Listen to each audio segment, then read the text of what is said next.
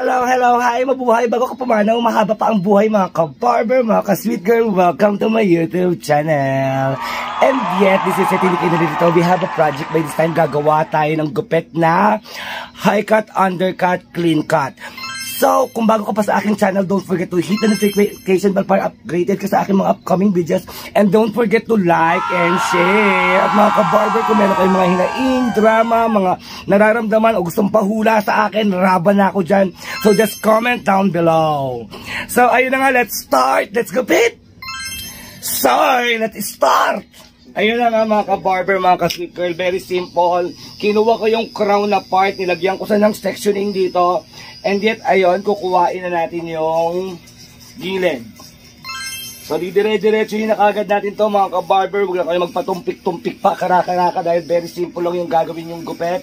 Uh, gumamit tayo ng dos taper, yung right taper natin, which is yung ano, hindi pantay na, na guide. And ayun, diretso gupit natin siyang ganyan. Mamaya, i-squala na lang tayo sa part dito sa taas para medyo mas diretso-diretso o mas clean cut yung gagawin nating cut. So, tatanggalin muna natin yung mga dito ng dos. So, dos, uno, zero, dadaan tayo sa mga ganyang bagay. So, ganun lang. And again, mga ka-barber, mga ka-sweet girl, pag humahawa kayo ng clipper, medyo gaangan ninyo. Baka mamaya naman, nakapaggupit nga kayo, nabugbog naman yung kliyente. so, very simple lang. So, ayun, nakuha natin yung boundaries dito. Hope na nakakasunod kayo mga ka-barber, mga ka-sweet girl. Yes. Ah, sorry. Sorry sa part na yun. Ayan, minsan kaya you have to be careful mga ka-barber, mga ka-sweet girl. So, ayun na nga, gagamit tayo ng uno. Totoo. Very uno tayo. So, uno tayo dito. Ganyan. Paangat lang din and then mag-form kayo ng barbers as well.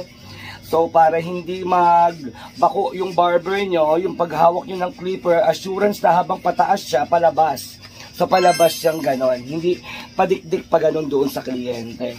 So napaka-careful mga ka-barber, mga ka-sweet girl na very simple lang para talagang makuha niyo yung elevation ng barber na gusto nyong makamit at makuha nang magdire-diretso ang buhay niyo sa tagumpay.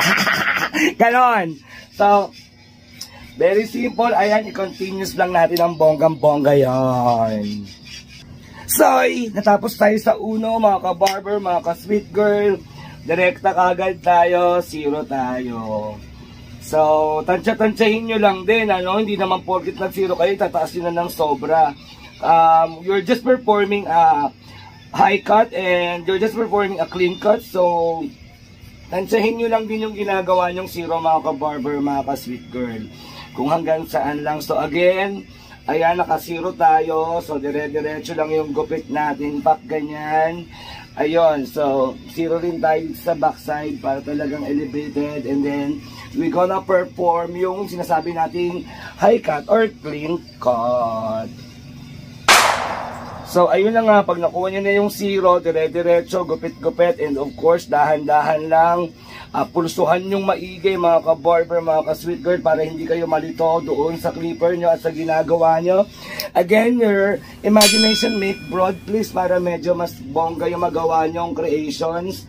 And, ayun, gugupit na tayo dito, i-squat tayo para medyo mas makuha natin yung high cut na definition natin gagawin doon sa part ng upper So, ganun lang ka-simple mga ka-barber, mga ka-sweet girl. Hope na nakakasunod kayo. Very simple instruction lang yung ginagawa natin ganon. So, narinis na natin mga ka-barber, mga ka-sweet girl. Gagawa naman tayo ng ahit. Aha. The usual thing, mga ka-barber, mga ka-sweet girl. Pag umaahit ako, ang gamit ko lang ay blade lang direkta.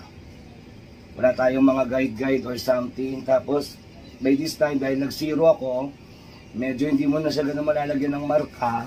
So, make your imagination broad mga ka-barber, mga ka-sweet girl, para makapag-ahit kayo ng maayos. So, make your pattern, uh, make your goal, ganun lang, diretso ka lang, tapos, ayun.